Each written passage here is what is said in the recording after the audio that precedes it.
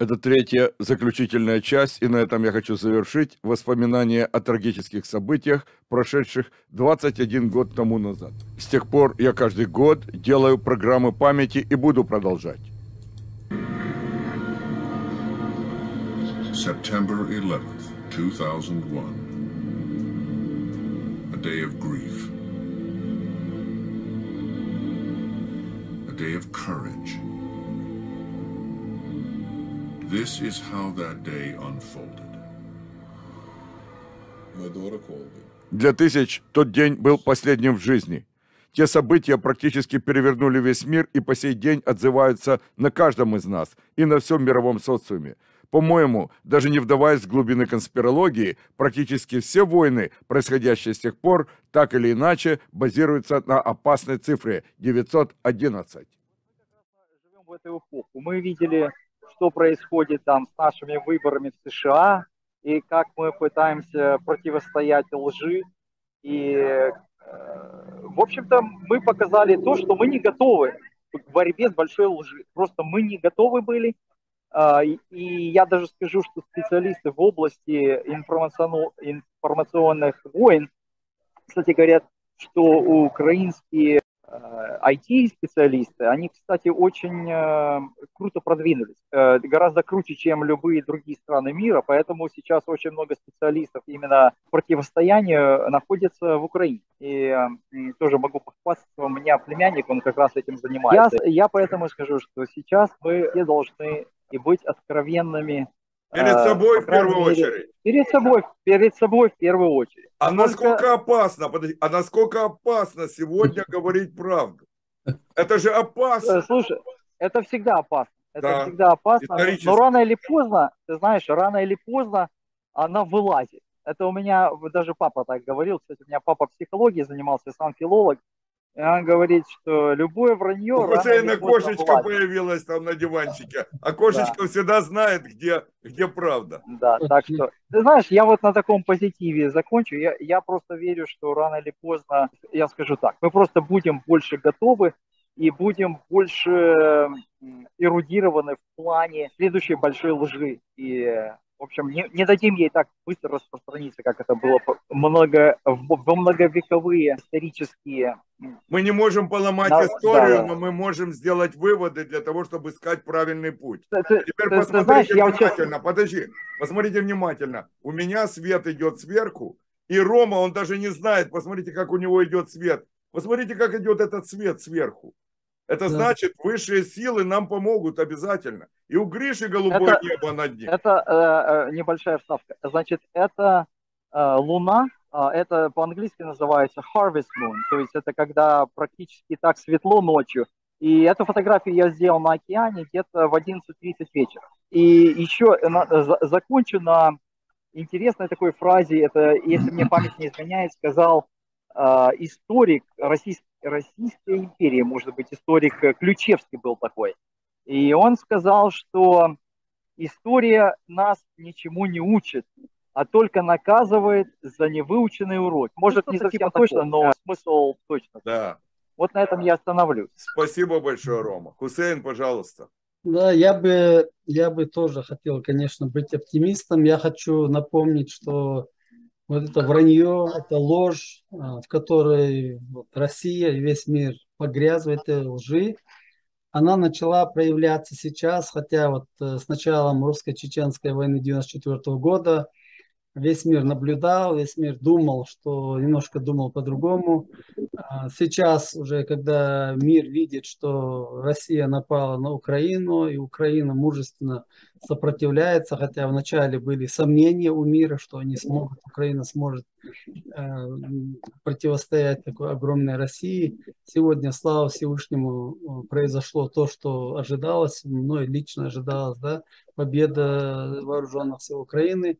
И ложь теперь начала проявляться. Сегодня мы видим, что э, разговор идет о Чеченской республике Ичкерия, идет разговор, там даже вывесили, по-моему, Организация Объединенных Наций на сайте, кажется, вывесили договор о мире, взаимоотношениях, подписанных президентами Ельциным и Масхадовым 12 мая 1997 года. Межгосударственный договор о мире между Россией и Чеченской Республикой, который буквально за два, за, через два года был нарушен Россией, которая вероломно снова напала на нашу республику. Сегодня э, вот я, у меня просто, я не знаю, это такое душевное состояние и такое ну, предчувствие, да, что мир изменится именно благодаря Украине, именно благодаря, что Украина победит эту чуму, которая вот в свое время, да, там в 44-м, до 40 Она годов, может не настолько конкретно победит, как она даст толчок ну, я, я... переформи... переформированию. Абсолютно. Значит, победа, извиняюсь, победа имеет разные, значит, наши будут смотреть разные люди с разной подготовкой, и психической разной подготовкой, образовательной разной подготовкой. Я хочу, чтобы люди понимали, что такое победа. Значит, та победа, как, которую основная масса людей себя представляет, э, как победа, например, над фашизмом. Да, в Кремле. И, и, и, как говорится, разрушенный Берлин или как разрушенная Москва. Это невозможно по той причине, что Россия владеет стратегическим ядерным э, э, так сказать, э, такое количество, которое Россия имеет стратегических ядерных ресурсов, невозможно разрушить Москву. И даже об этом думать не надо. Должна быть моральная победа и освобождение территории Украины. Это, чтобы люди это понимали. Ну да, именно речь об этом. Я не, не призываю там украинские вооруженные силы захватить Кремль. Естественно, здесь речь идет о войне, нынешней войне на территории Украины, которые армия российская должна быть выкинута оттуда, безусловно, и это приведет уже вот этот народ, который, жертвы, которые понесли российская армия, уже около, наверное, больше 50 тысяч с учетом вот этих последних боевых действий. Э, это огромная цифра для России. Я думаю, что российские народы, не русский народ только, а именно российские народы, где больше всего, наверное, пострадало в этой войне погибло людей, а, а, как бы начиная, начнут думать, за что они погибают, за что их посылают и, и почему все это так произошло. Это время сейчас наступает. Вот время думать наступает с, с исходом русско-украинской войны. Хорошо, спасибо. А я дам простой пример физический.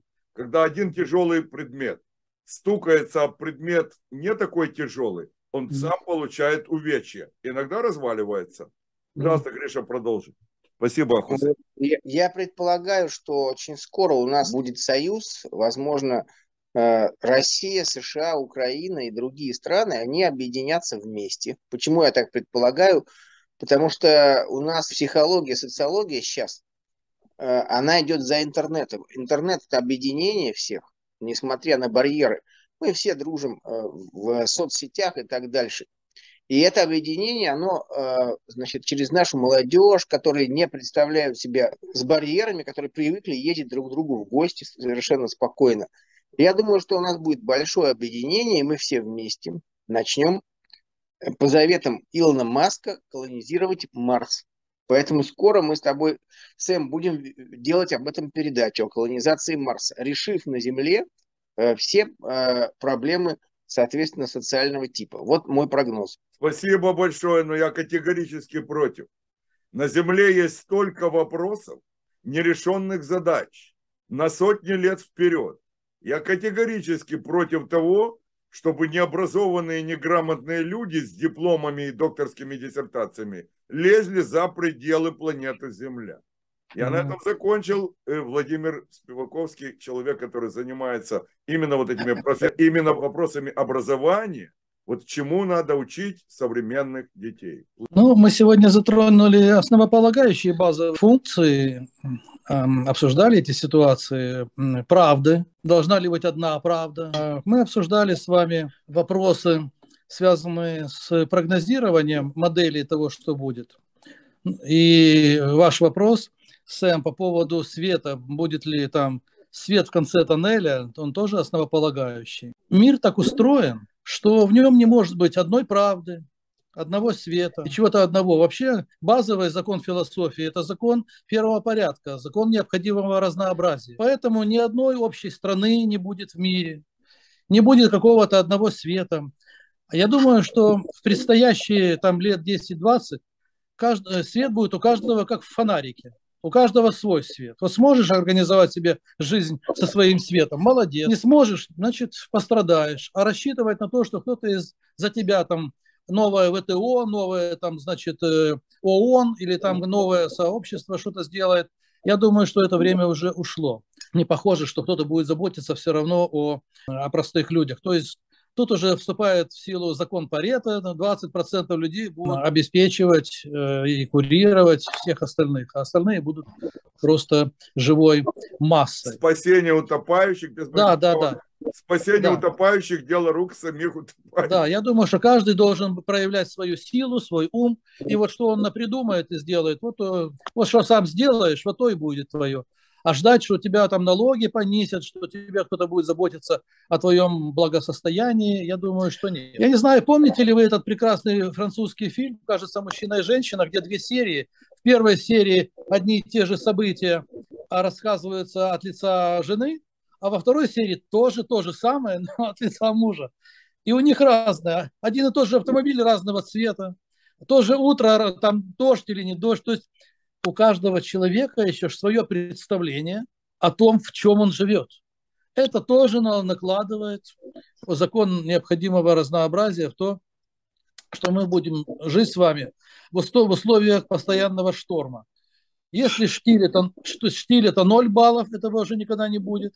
Ураганный шторм там 10-12 баллов, мы будем жить при 4-5 баллах теперь все время. И это будет норма.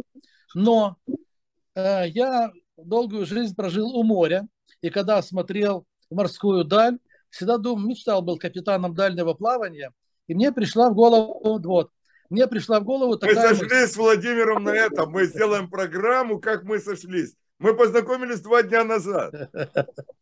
Он хотел быть капитаном первого ранга, просто капитаном корабля, путешествовать по миру. Я хотел то же самое. Притом я никогда не на военном корабле, я хотел просто на исследовательском корабле исследовать острова. И мы начали да. собирать в детстве марки. И так мы познакомились, да? Через марки. Да.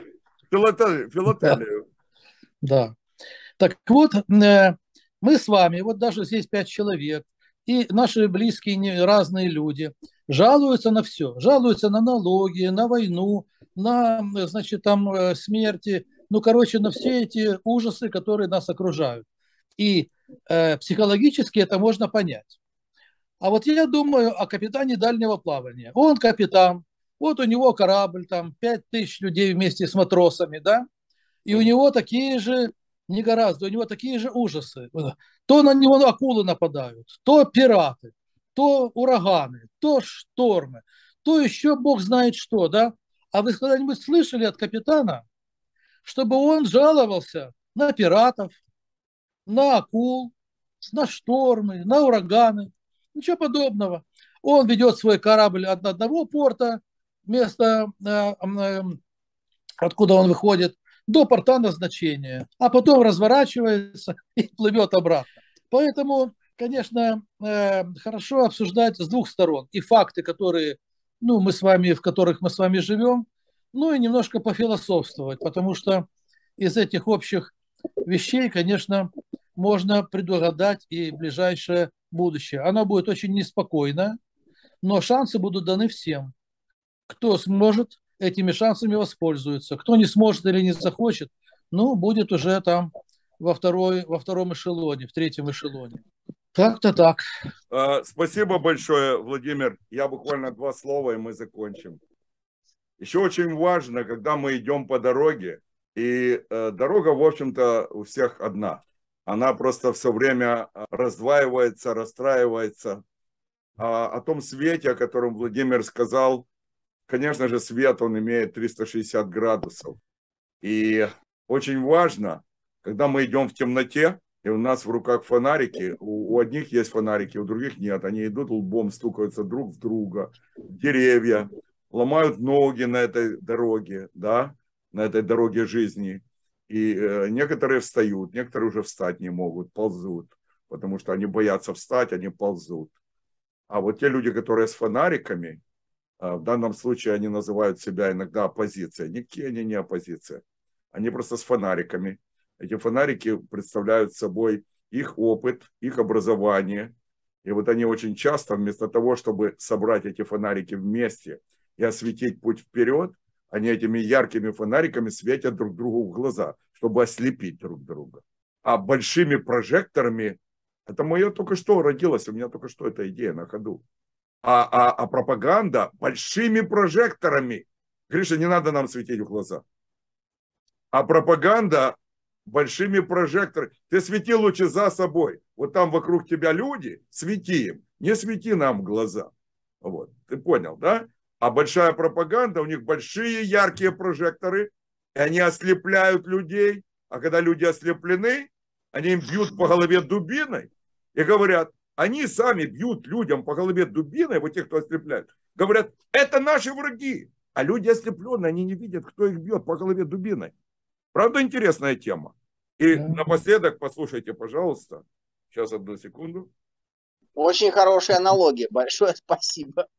А когда светишь вам фонарик, я исчезаю, потому что фонарь меня перебивает. Вот так вот, видите, меня нет. Так, ребята. за светку камеры. И Приготовились. Приготовились. равнина, здесь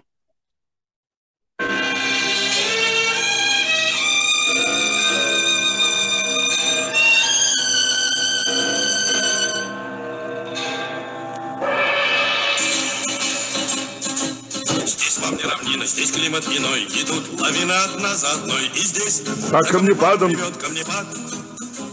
И можно свернуть, обрыв обогнуть, но мы выбираем крупный путь, опасный, как военная тропа. И можно свернуть, обрыв обогнуть, но мы выбираем крупный путь, опасный, как военная тропа. Кто здесь не бывал, кто не рисковал, тот сам себя не испытал. Пусть даже внизу он звезды хватал с небес. Внизу не встретишь, как ни тянись за всю свою счастливую жизнь. Десятой доли таких красот и чудес. Внизу не встретишь, как ни тянись за всю свою счастливую жизнь. Десятой доли таких красот и чудес. Это про Заратустру. На монумент тот камень, что покой тебе подарил. Днем вершина, которую не подарил вечным огнем сверкает днем вершина. Вершина изумрудным. Ты так и не покорил. И пусть говорят, и пусть говорят, но нет, никто не гибнет зря. Так лучше, чем от водки и от простуд. Другие придут и не воюют. И непомерный труд пройдут с тобой непройденный маршрут.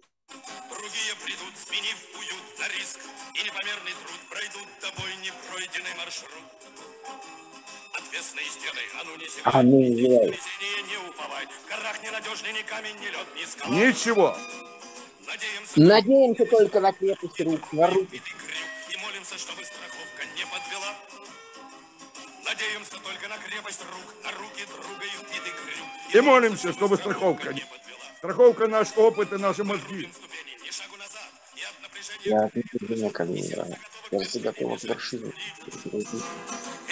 На ладони, счастлив и только немного завидуешь тем другим, у которых вершина еще впереди. Весь мир на ладони, ты счастлив и нем, и только немного завидуешь тем другим, у которых вершина еще впереди. Ребята, Спасибо. это был экспромт. Вы меня на это натолкнули. Я вам честное слово говорю, я не, не, не, не собирался это сделать. И когда вы говорили, у меня вот этот образ что вершина это, мы ее видим. Достичь мы ее вряд ли в нашей жизни до, до, достигнем. Но мы должны подготовить новое поколение, чтобы они достигли. Хорошая концовка. Удачи, Сэм. Спасибо. Так прошла наша встреча 11 сентября 2022 года. Пожалуйста, оставляйте комменты.